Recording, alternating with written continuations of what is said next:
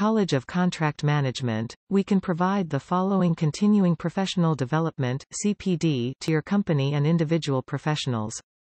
Now, in this rapidly changing modern technological world, professionals who are working in the construction industry have an obligation to keep up with new developments. Furthermore, you are also expected to identify this new knowledge and learn new skills.